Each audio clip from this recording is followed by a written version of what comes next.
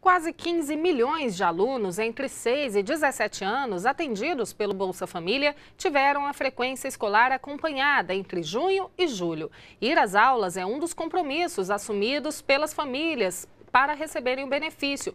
Nesse bimestre de junho e julho, 95,7% dos estudantes cumpriram o mínimo da presença em sala de aula. 85% deles têm entre 6 e 15 anos e 75% entre 16 e 17 anos. Além de mandar as crianças e os adolescentes para a escola, as famílias devem ainda manter atualizadas as informações no Cadastro Único para Programas Sociais. Mudanças na renda, no número de pessoas da família, família, transferência de escola são motivos para atualizar os dados.